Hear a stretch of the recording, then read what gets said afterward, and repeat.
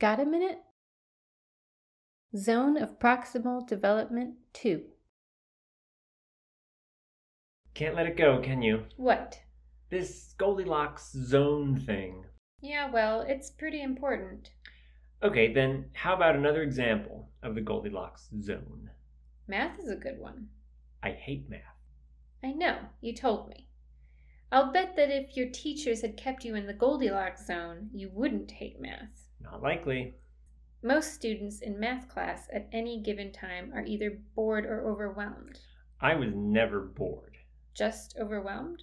Yeah, I was always lost. So you were never in the Goldilocks zone. If you mean the just right zone, then no, I was never there. So you never got support for learning a new concept until you had mastered it? Nope. We were expected to keep up with everyone else. You mean keep up with the teacher's schedule? Yeah, they were determined to get through the book by the end of the school year, regardless of how many of us got left behind. That's too bad. Math builds one concept on another.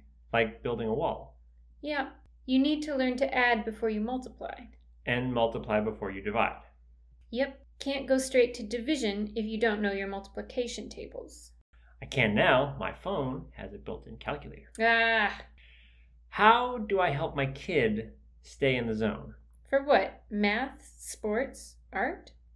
Okay, learning to draw. He can trace a line drawing of a squirrel, but he can't draw a squirrel on his own. So if the guiding lines for the squirrel gradually disappear as he gets better at that drawing, that's an example of keeping him in the zone of not too hard, not too easy. Interesting.